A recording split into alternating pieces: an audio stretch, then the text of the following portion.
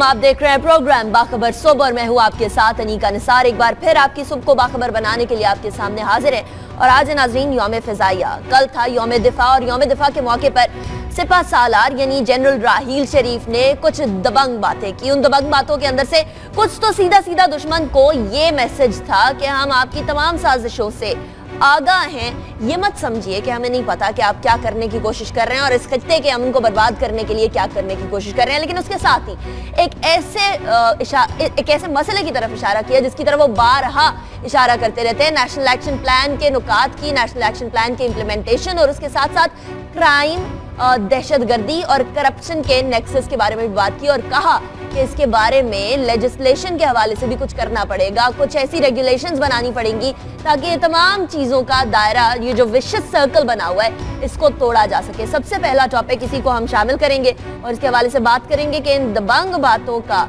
पैगाम किस किस की तरफ़ था और कौन कौन इसको मुस्बत तरीके से लेता हुआ आगे चलेगा?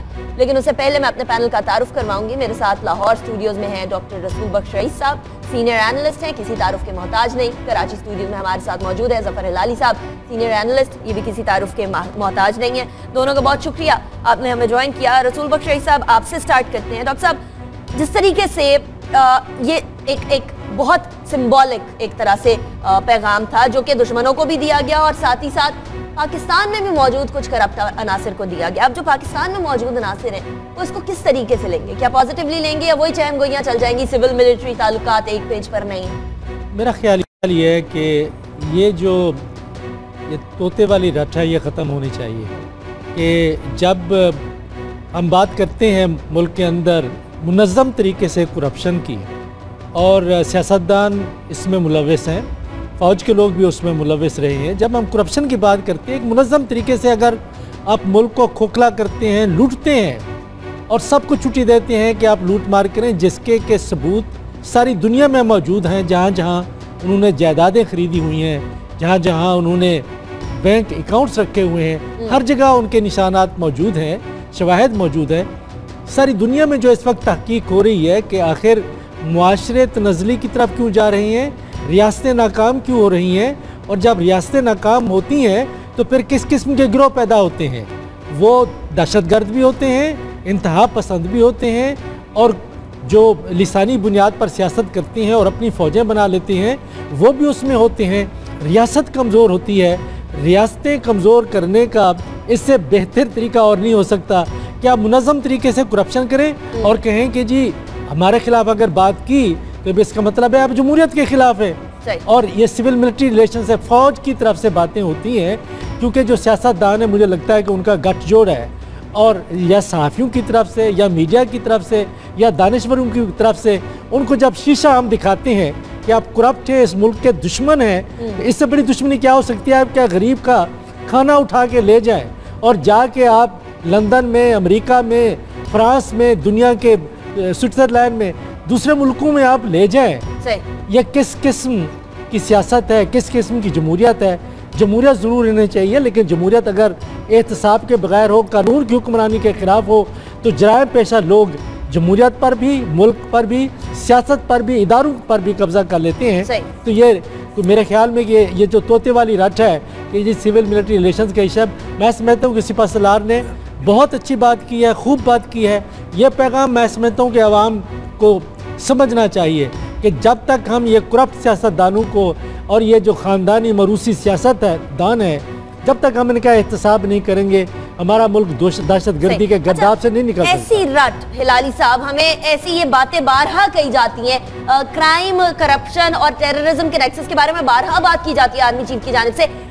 यही बात हमें सियासतदानों की तरफ़ से क्यों नहीं सुनाई देती? हुक्मरानों की तरफ़ से क्यों नहीं सुनाई देती कि इस नेक्सस को तोड़ना होगा? जनरली बात की जाती है कि जी हम मुल्क को तरक्की की राह पे गामजन करेंगे, लेकिन ये बात क्यों नहीं की जाती कि करप्शन के नेक्सस को तोड़ेंगे?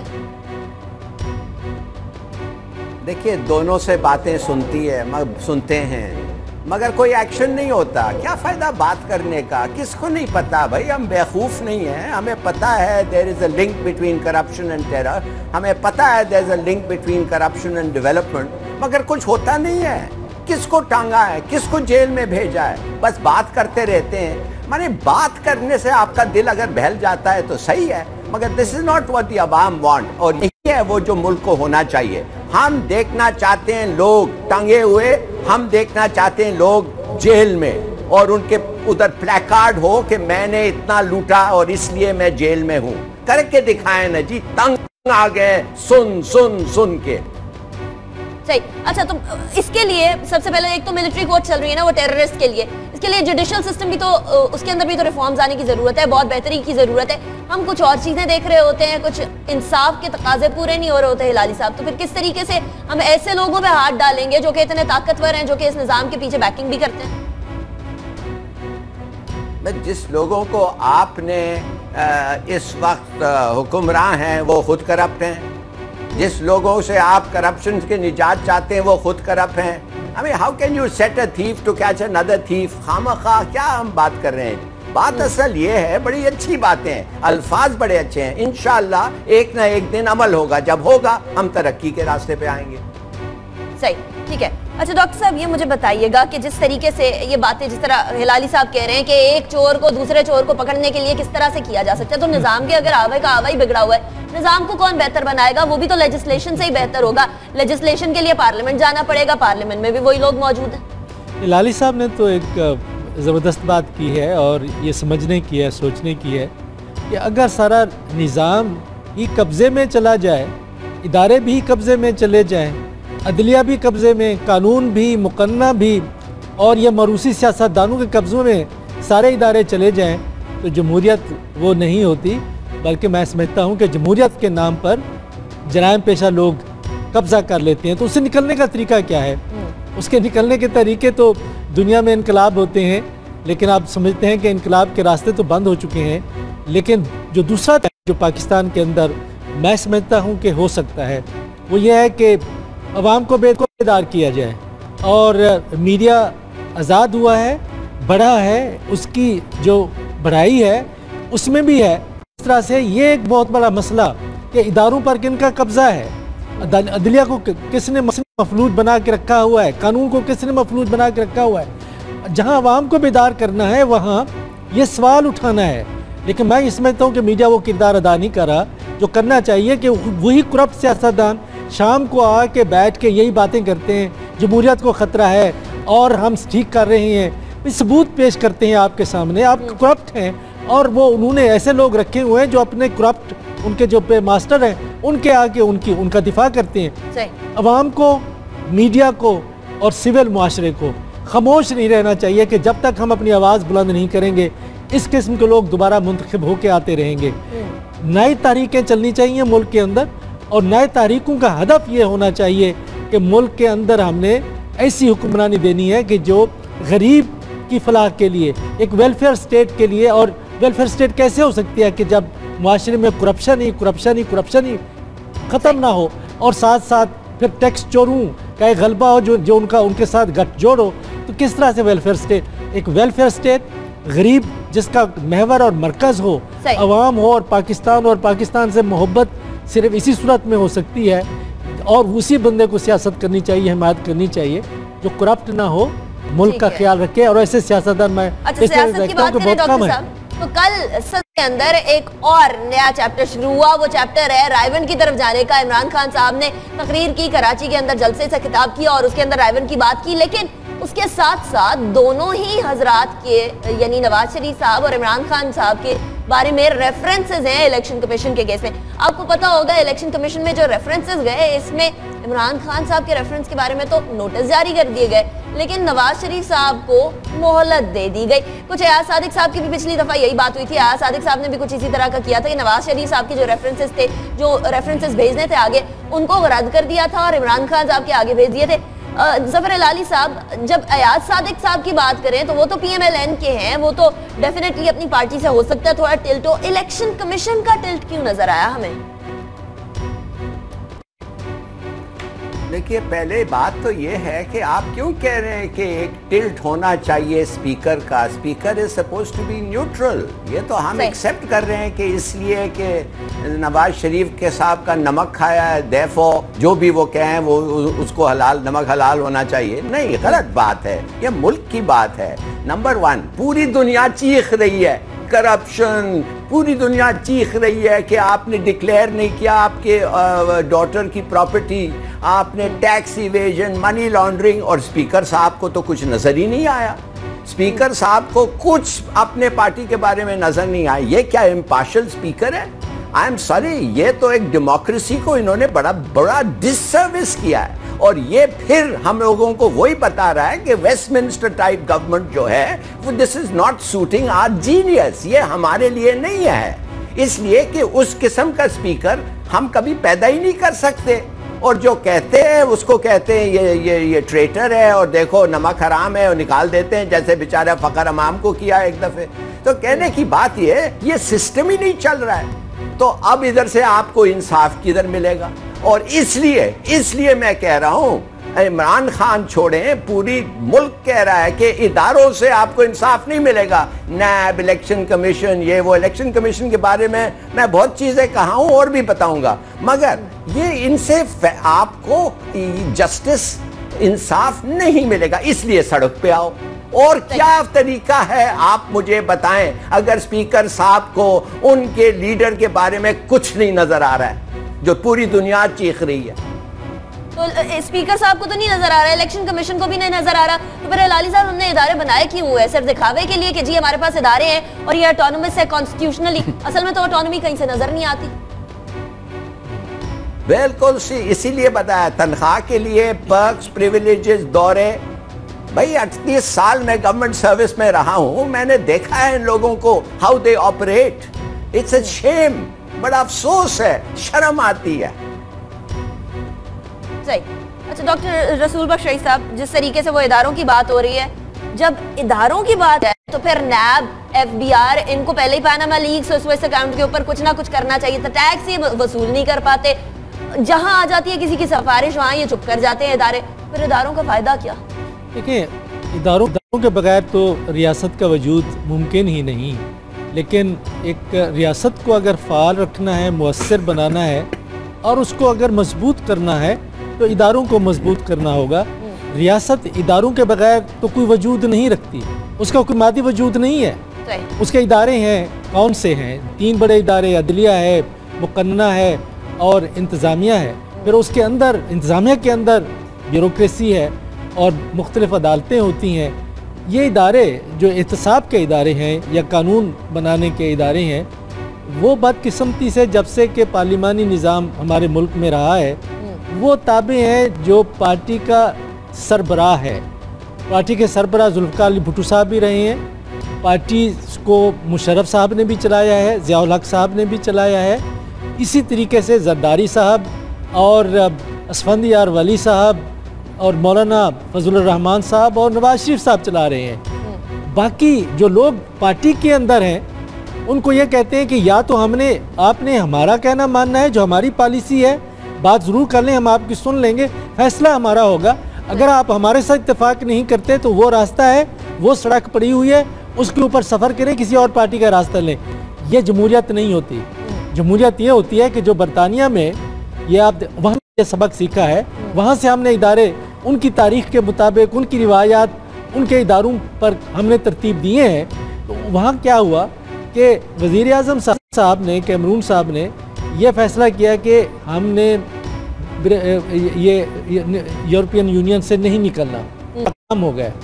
उन्हें कहा मैं इस्तीफ़ा दे रहा हूँ और पता ही नहीं चला वे के एक महीने के अंदर एक नया वज़ीर आज़म आ गया कि पार्टी के अंदर अगर आप तब्दीली नहीं ला सकते किसी और को सरबरा नहीं बना सकते पार्टी के अंदर जमहूरियत नहीं है। पार्टी के अंदर जमहूरियत नहीं है तो इमरान खान बिल्कुल दुरुस्त कहते हैं कि यह बादशाहत है। बादशाहत ये नहीं होता कि आप ताज पहने। बादशाहत ये नहीं होती कि आप एक ए, ए, आपका दादा आपका परदादा बादशाह था आप भी बादशाह बन सकते हैं कि अगर आप एहतसाब के अमल में नहीं आ सकते। सही। अच्छा हिलाली साहब मुझे सिर्फ़ इस बात का जवाब दे दीजिएगा। मुझे समझ नहीं आई कि क्या इमरान खान साहब के ऊपर जो इल्ज़ाम हैं वो नवाज़ शरीफ साहब के ऊपर जो इल्ज़ाम हैं उससे बड़े हैं? या फिर इमरान खान साहब की कोई पोजीशन नवाज़ शरीफ साहब से बड़ी है जो उनको नोटिस मिला नवाज़ शरीफ साहब को इमरान खान साहब को और नवाज़ शरीफ साहब को मोहलत मिल गई? देखिए जी इन कंपैरिजन अगर अगर आप क्वांटिटी की बात कर रहे हैं इन कंपैरिजन जो जो इमरान खान के खिलाफ चार्जेस हैं, वो कुछ नहीं है। कुछ नहीं है। देर इन्फिनेटली स्मॉलर मगर इनके खिलाफ जो चार्जेस हैं तो stretch into millions and millions of dollars उसका एक प्रॉपर्टी का है, पहले लिया, बाद में लिया, कैसे डिक्लेयर किया? आई एम नॉट इंटरेस्टेड देखिए, आम आवाम जो है ना, वो नहीं इंटरेस्टेड है कि इमरान खान एक घर लिया, नहीं लिया, किधर से आया, बीबी से ये, वो। वो एक मैटर ऑफ़ प्रिंसिपल आप ज़रूर कह सकते हैं झूठ नहीं बोलना चाहिए और अगर झूठ बोला है गलत है और अगर झूठ बोला है तो उसके कॉन्सिक्वेंसेज होते हैं सही? हम्म। मगर ये तो प्राइम मिनिस्टर है भाई पाकिस्तान का थ्री टाइम्स प्राइम मिनिस्टर इसने पूरी दुनिया के सामने इसके आके कहा था कि मेरे पास जो तीन प्रॉपर्टीज़ थे वो 2005 में मैं लिए थे। अब जब मैं आपको कहता हूँ आई हैव सीन एविडेंस के वो 2005 में लिया वो 1995 में लिए थे। वो साफ़ सदा झूठ है। अच्छा वो भी छोड़ दें। उन्होंने डिक्लेयर करना था अपनी बेटी का प्रॉपर्टी डिक्लेयर करना था ना, ये है। उन्होंने डिक्लेयर ही नहीं किया वो प्रॉपर्टी भाई, वो प्राइम मिनिस्टर है। ये अलग बात है। ये छोटा सा आदमी झूठ बोल रहा है। एक एक छोटा पार्टी का लीडर जो अब थोड़ा बड़ा हो गया है, वो सही नहीं कह रहा है। What is the difference he is number one citizen of Pakistan वो झूठा निकला। तो इट्स टेरेबल और ये स्पीकर साहब को कम से कम भाई उनको कहते हैं इंक्वायरी कर लो। मैं नहीं कहता कि वो डिसाइड करते उस वक्त के उसको डिसक्वालीफाई कर देते कम से कम रिफर करते कहते इंक्वायरी कर लो। उन्होंने वो भी नहीं देखा इसमें। ना व्हाट डज दैट शो ठीक ठीक है व्हाट डज दैट शो कहते हैं लोग इंस्टीट्यूट रसूल बाग रही साहब बिल्कुल सही कह रहे हैं बिल्कुल सही कह रहे हैं। इंस्टीट्यूशंस बनना चाहिए मगर मगर माफ़ करिए। इंस्टीट्यूशंस जो भी आप बनाए अगर लोग उसमें जो हैं वो बेकार हैं डबल डीलिंग क्रुक्स हैं। तो आपका इंस्टीट्यूशन इज़ ऑल्सो यूजलेस है कि नहीं? ठीक है। सही, हमारे मसला है। सबसे बेसिक मसला ये है कि जिस काम के लिए होते हैं, उस काम से ज़्यादा पर्क्स एंड प्रिविलेजेस लेने के पीछे पड़े होते हैं। एफबीआर को बोला जाता है कि जी टैक्स जमा करे। टैक्स जमा करने की बात आती है टैक्स जमा नहीं कर पाते, बल्कि जो छोटे टैक्स देने वाले होते हैं, उनके पीछे पड़ जाते हैं। इसी तरीके से जिन्होंने बड़ी टैक्स चोरी की है, उनको कब पकड़ा जाएगा? मैना मानू वाली बात कब तक चलेगी? लेकिन मैना मानू तो भारत भी करता है और जब 65 की वॉर आती है तो बहुत बड़े बड़े लोग कह देते हैं कि 65 की वॉर तो किधर पाकिस्तान ने जीती थी? भारत की तरफ़ से सवाल उठाया जाता है। लेकिन वो जब दांत खट्टे हो जाते तो उसके बाद समझ नहीं आती क्या किया जाए। और भारत के साथ भी कुछ इसी तरह हुआ। उन्नीस सौ पैंसठ की जंग हारने के बावजूद भी कल सटपटा गए और एलओसी के ऊपर फायरिंग करना शुरू कर दी। इस इश्तियाल अंगेजी के नतीजे में हमारे यहाँ से भी जवाब गया और जवाब तो फिर जाते हो, फिर तोपे तो बंद हो ही जाती है, डॉक्टर साहब। ये क्या है भारत के साथ के अमन के रास्ते पर आने का कोई सवाल ही पैदा नहीं होता? हम दोस्ती का हाथ बढ़ाते हैं, दोस्ती का हाथ झटक दिया जाता है और ऊपर से यहाँ जासूस भेजे जाते हैं पाकिस्तान के अंदर ताकि वो अनरेस्ट क्रिएट कर सके। अमन का सिर्फ़ एक वाद रास्ता है जिसकी तरफ़ इशारा किया सिपा सलार ने कल वो ये कहा कि जब तक के एक तोज़ुन ना हो किसी खत्े में हम्म। अमन कायम नहीं हो सकता। और तोज़ुन के लिए हमने जब से हम आज़ाद हुए हैं हमारे पास तो उस वक्त तो कुछ नहीं था। अब आज अल्लाह के फजल से हम न्यूक्लियर पावर भी हैं और हमारे पास किसी चीज़ की कमी नहीं है। हमने अपने ज़राए को अंदर से हमने उन, उसको तरक्की दी है, तरवीज दी है, एक माशरा दिया बनाया है, एक रियासत बनाई है जिसकी कोई मिसाल नहीं मिलती। कि सत्तर साल के अंदर इतना मज़बूत अंदर से और इतना एक जो जुड़त है माशरे के अंदर आप पैदा कर लें, एक मार्केट बना लें, एक कानून भी बना लें, ये बहुत बड़ी अचीवमेंट्स है और सत्तर साल के करीब पाकिस्तान हो रहा है अगले साल इन तो उससे हमें ज़रा थोड़ा सा सोचना है कि हमने क्या हासिल किया लेकिन जो चीज़ हमने हासिल किया है कि हमने एक खत्े में तोज़ुन पैदा कर लिया है क्योंकि जिस किस्म के माहौल में हम रहते हैं और जो तारीख़ी मसाइल हैं हिंदुस्तान के साथ या उनके रहनुमाओं की जो एक जहनीत हमेशा पाकिस्तान की तरफ़ रही है उसके नतीजे में तो हमने एक तोज़ुन कायम रख तोज़ुन का मतलब ये नहीं होता कि जितना कुछ हिंदुस्तान के पास अस्करी ताकत है हमारे पास भी वही होनी चाहिए। हमारा जो हमारी जो एक तारीफ़ है तोज़ुन की वो ये है कि हम इतना इस्तदाद ज़रूर रखें इतना मुस्तैद हूँ इतना हमारे पास ताकत हो कि हिंदुस्तान हमारे ऊपर हमला करने की जुरत ना करे। उसने शब खून मारा था 1965 के के सितंबर में। लेकिन उसका हमने कौम ने जो एक जवाब दिया हम्म। उसकी फिर भी साल पाकिस्तान की तारीख में भी नहीं मिलती और दुनिया में नहीं मिलती कि सारी कौम इकट्ठे हो गई। एक इतना बड़ी मोबलाइजेशन हुई माशरे की। एक कौमियत पसंदी पैदा हुई। वतन से मोहब्बत और कुर्बानी का जज्बा आज भी जब हम उसको याद करते हैं तो उससे फिर हमारी मोहब्बत भी पाकिस्तान से और फिर जो हमारे शहदा हैं उनके ख़ानदान हैं उन उनके साथ वाबस्तगी और जो फ़ौज का पाकिस्तान में दिफा करने के लिहाज से एक किरदार रहा है उस पर हमें फ़ख्र करना अच्छा, करते हैं और हमारा सर फ़ख्र से बुलंद हो जाता है। बिल्कुल हो जाता है बिल्कुल हो जाता है। वैसे भी योम फ़जाइया और योम फिजाइया के मौके पर फ़जाइया के एम एम आलम साहब ने जिस तरीके से रिकॉर्ड कायम किया था, पाँच लड़ाके रहे इंडिया के गिरा दिए थे। ये आज़म होता है, ये सिर्फ़ और सिर्फ़ क्वांटिटी ऑफ़ एम्यूनेशन नहीं होता। हिलाली साहब की तरफ़ भी मैं जाऊँगी, लेकिन अभी जाने ब्रेक की तरफ़ और ब्रेक के बाद बात करेंगे कि आखिर भारत इन औच्छे हथकंडों से कब बाज आएगा।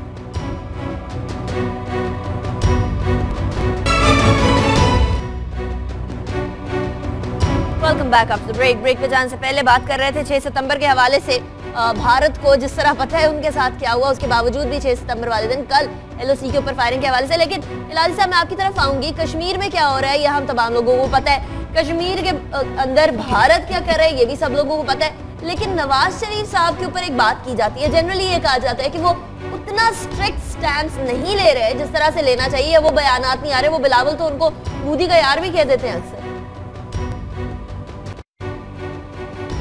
देखिए, बड़ी अफसोस से कहना पड़ता है कि जो मोदी का तकरीर था बलूचिस्तान पे 15 अगस्त पे, उसका जवाब उन्होंने नहीं दिया। जो मोदी के और तकरीरें हैं कश्मीर के बारे में, उनका जवाब नहीं दिया।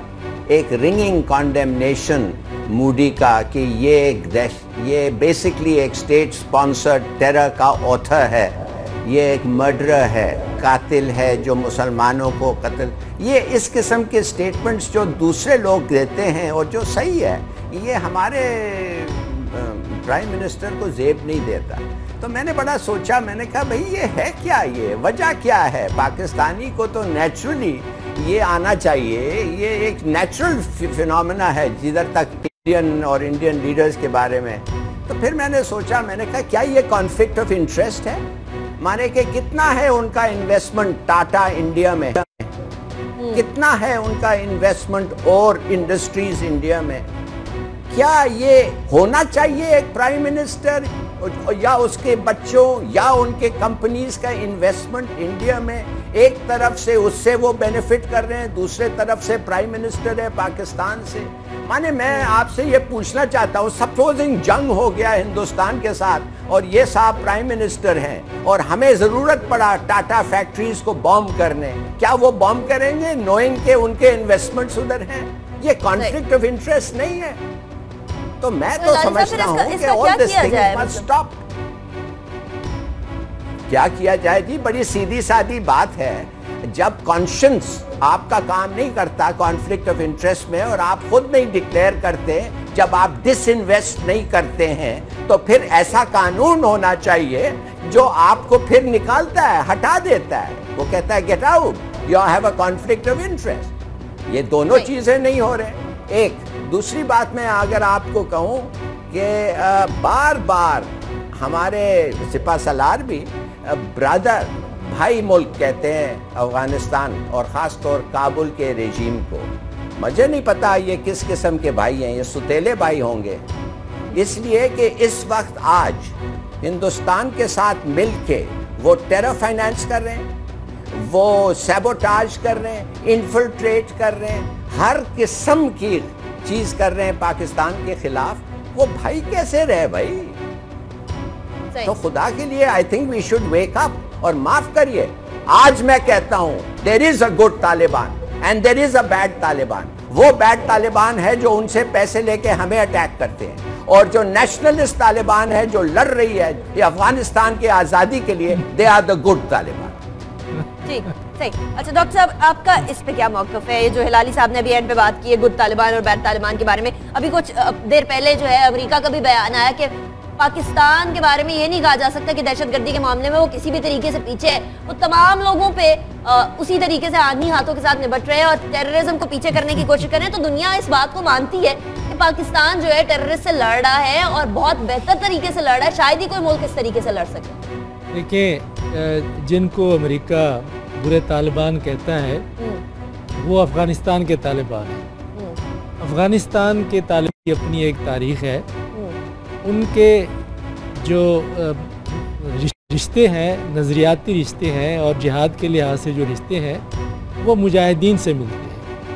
उन क्यादत है, तंजीमें हैं और जो जिहाद के नेटवर्क्स हैं, वो मुजाहिदीन के साथ मिलते हैं। मुजाहिदीन के बारे में वाइट हाउस में एक तकरीब हुई थी। उस तकरीब में रेगन रोनाल्ड रेगन उस वक्त प्रेसिडेंट थे अमेरिका के उन्होंने ये कहा था, अंग्रेज़ी में उन्होंने कहा था, ज़ाहिर है, उर्दू तो नहीं बोल सकते थे। उन्होंने कहा था कि ये जो अफ़गान मुजाहिदीन हैं they are the moral equivalence of the founders of the American republic मकसद क्या था कि ये ये इन, ये अखलाकी लिहाज से ये हमारे जो मुल्क के बानी हैं, अखलाकी लिहाज से उनके ये बराबर हैं, वो क्यों बराबर हैं कि अफ़गानिस्तान की आज़ादी के लिए वो अपनी जान की बाजी उन्होंने लगा दी है। अपना मुल्क तबाह किया है लेकिन अफ़गान हमेशा बहर की मदाखलत के ख़िलाफ़ लड़ते रहे हैं। वो रूस के ख़िलाफ़ लड़े उसको शिकस्त दी। फिर अमेरिका जिन्होंने उनकी हिमायत की जो मुजाहिदीन थे जिनके बारे में कहते थे कि ये तो बहुत बड़े ज़रूरतमंद लोग हैं और इन्होंने तो कमाल करके दिखाया है उन्हीं को आप वो कहते हैं ये बुरे तालिबान हैं। हम्म। बुरे तालिबान इसीलिए हो गए कि उन्होंने जाके उनके मुल्क के ऊपर वो तबाही मचाई। उस तबाही के निशानात आप अफ़गानिस्तान के देहातों में जाएँ, सूबों में जाएँ, कि कोई वेडिंग सेरेमनी है, कहीं पे फ्यूनरल है, कहीं पे मस्जिद है, घर है, तबाही मचा दी है। तो उसके ख़िलाफ़ अगर वो लड़ रहे हैं तो उनको कहते हैं, ये बुरे तालिबान हैं। ज़ाहिर है वो इसलिए कहेंगे कि मैं ये समझता हूँ कि अभी तक अफगान, अफ़गानिस्तान के तालिबान को अमेरिका की क़्यादत ने दहशत गर्द तंजीम के तौर पे नहीं ऐलान किया। उनको वो नहीं कहते वो दहशत गर्द है मेरा अपना ख्याल ये है कि उनको वो वो जो तालिबान अफ़गानिस्तान के अंदर है लाली साहब की मैं तयद करता हूँ कि वो अपने मुल्क की आज़ादी के लिए लड़ रहे हैं और इस वक्त वहाँ पे मुल्क के अंदर एक ऐसा हुक्मरान तबका जो वार लार्ड्स हैं जिनके हाथ अफ़गानिस्तान के खून से रंगे हुए हैं लेकिन अमेरिका ने उनको एक ऐसा लिबादा पहना दिया है कि ये अफ़गानिस्तान के बानी है अफ़गानिस्तान के डॉक्टर साहब वो वाली बात हुई ना मुफाद बदल, बदल गई लेकिन आ, उसके साथ ही साथ इन्हीं तालिबान से बात करने पे तैयार भी है अमेरिका। वो कतर के अंदर भी बात करने की कोशिश करते हैं पाकिस्तान से भी बारहा कहते हैं लेकिन फिर वही बात आती है कि ये तमाम चीज़ें पाकिस्तान केटर तो कर रहा है, दहशतगर्दी को केटर भी कर रहा है, लेकिन उसके बावजूद भी भारत का जो रवैया है, वो ऐसा है कि जैसे उनको पसंद नहीं आ रहा कि खत्ते के अंदर अमन किस तरीके से हो रहा है, पाकिस्तान दहशतगर्दी से कैसे लड़ रहा है, वो बीज जो दहशतगर्दी का भारत ने पाकिस्तान में बोया खत्म कैसे होता जा रहा है? वो तरावर दरख्त क्यों नहीं बन पाया? वो बड़ा बड़ा क्यों नहीं हो पाया? लेकिन जहाँ दहशतगर्दी की बात करें, साथ ही साथ गैर मुल्की फंडिंग भी इसमें एक अहम किरदार अदा करती है। चाहे वो दुश्मन ममालिक की तरफ़ से फंडिंग हो, या बहुत सारे ऐसे ममालिक की तरफ़ से, जो कि दोस्त का लिबादा उड़े हुए गैर मुल्की फंडिंग लेने वाली तीन हज़ार से जायद एन को बंद कर दिया गया वजारत दाखिला ने बंद किया है और इन एन के ऊपर बहुत सारे इल्ज़ाम है। पहले भी एन के बारे में नेशनल एक्शन प्लान के थ्रू भी आ, कुछ कार्रवाइयाँ हुई थी। इससे पहले वजारत दाखिला ने की थी। हिलाली साहब ये जो साढ़े तीन हज़ार एन हैं इनको बंद करने की वजह फॉरन फंडिंग है। फॉरन फंडिंग एनजीओ तो तकरीबन तकरीबन सारी लेती हैं जो काम कर रही होती हैं, कैसे मेक श्योर किया जाता है कि कौन सी फंडिंग कहाँ जा रही है? और ये आज क्यों हुआ? ये जब एनजीओ खुल रही थी रजिस्टर किया जा रहा था, काम हो रहा था, तब क्यों नहीं हमें पता था? तो अनिका, मुझे और आपको क्या पता है? इन्होंने बताया क्यों बंद किया है? इन्होंने बताया वो कौन है? आप कह रही है मुझे तीन हज़ार पाँच सौ। मगर क्यों बंद किया? है एब्सोल्युटली करेक्ट और खोलने की इजाज़त क्यों दी और किसने दी? ये कुछ पता ही नहीं चलता है। और व्हाट अबाउट मदरसाज ये जो बाहर से पैसे आते हैं, जो वाकई वो नर्सरीज ऑफ़ टेरर बने हुए हैं, उनके बारे में आप क्या करते हैं? एक ज़माने में क्वेटर के 28 मील बाद बाहर एक मदरसा होता था, जिधर से लोग आते थे अटैक करते थे और वापस चले जाते थे उस मदरसा के अंदर। आपने क्या किया है अपने मुल्कों के साथ? आपने कुछ यू नो यू मैं माफ़ करिए this is the price of failure हर वक्त फेलियर का एक प्राइस होता है। अब you are paying for it अब मुझे नहीं पता। बताएँ ना मिनिस्ट्री ऑफ़ uh, क्या है ये इंटीरियर को? क्यों इन्होंने बंद किया? आप और मैं कमेंट करना चाहते हैं मगर हमें पता ही नहीं। क्या पता अगर एक छोटा सा इदारा था जो जापान से पैसे लेके घर छोटे छोटे बना रहा था उसको बंद कर दिया इसलिए कि फॉरेन फंडेड है? I hope not I think not Chaudhry Nisar के पास ज़्यादा दिमाग है उससे I mean has more brains मगर मुझे क्या पता क्यों करते हैं इन लोग? सही। और साढ़े तीन हज़ार को छोटा, छोटी अमाउंट तो है नहीं है लाली साहब, लेकिन एट द सेम टाइम कुछ ऐसी एनजीओ भी पाई गई थी, वो आपको याद होगा, कराची के अंदर भी एक एनजीओ थी, अमरीकी एनजीओ थी, जो कि जिसके पास हसास इदारों, हसास एरियाज़ के मैप्स भी पाए गए थे। ये काम भी हो रहे हैं इधर और बड़े अरसे से हो रहे हैं। ओ यस यस ये तो अमेरिका का पुराना हाथ है जी। इन्फिल्ट्रेशन गवर्नमेंट में, इदारों में, हर जगह स्कॉलरशिप्स फंड्स और एजुकेशन पे भेजना कुछ अच्छे होते हैं। मगर कुछ जो होते हैं वेरी ऑब्वियस ये वो कहते हैं कि हम भेज रहे हैं तो तुम वो सीखो जो हम जानना चाहते हैं। मुझे समझ नहीं आ रही है आज। माफ़ करिए, अमेरिका ने एक पॉलिसी शुरू किया है, जिसमें हिंदुस्तान और अफ़गानिस्तान के साथ बात कर रहा है तालिबान के बारे में, और पाकिस्तान को एक्सक्लूड कर दिया। कभी आप सोच सकते हैं, कोई दीवाना भी आपको कह सकता है कि अफ़गानिस्तान में सोल्यूशन हो सकता है विदाउट पाकिस्तान। मैं तो आपको क्या बताऊँ लगता ये है कि ये पागल हो गए हैं। ये सी पैक इनको इतना पागल कर दिया है कि ये वाकई डिस्टेबलाइजेशन चाहते हैं पाकिस्तान का। और उधर को एक न्यू फ्रंट खोलना चाहते हैं। कश्मीर में एक फ्रंट उधर एक फ्रंट और ये चाहते हैं कि हम हम सफ़र करें। अब देखिए हमारा जवाब होना चाहिए इसके लिए।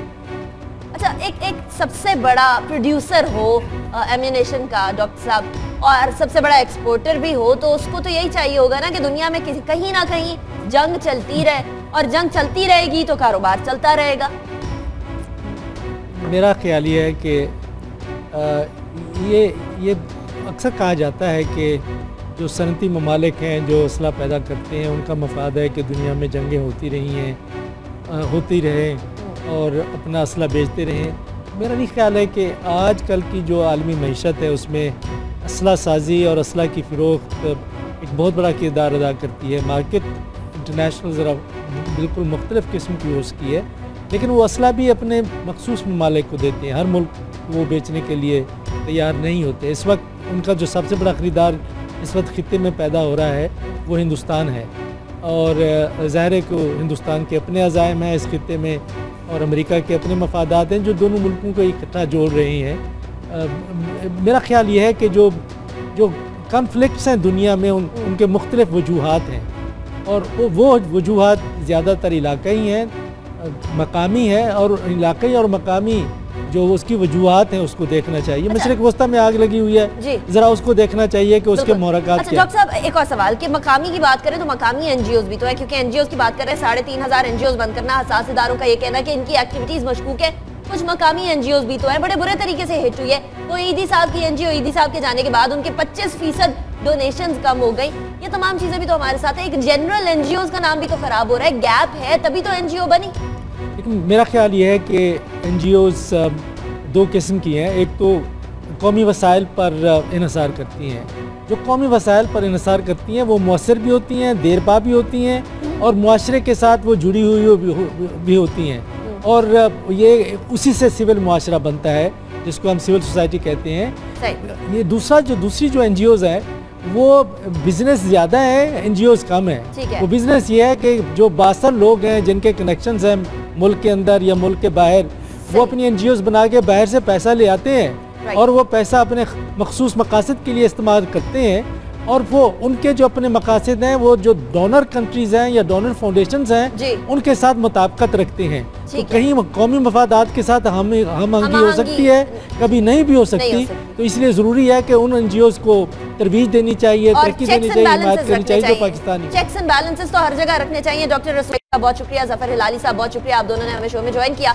जहाँ चेक्स एंड बैलेंसेस खत्म होंगे वहाँ मसले मसाइल शुरू हो जाएँगे। और जहाँ मसले मसाइल शुरू होंगे तो फिर मसले मसाइल को शुरुआत में ही रोक देना चाहिए।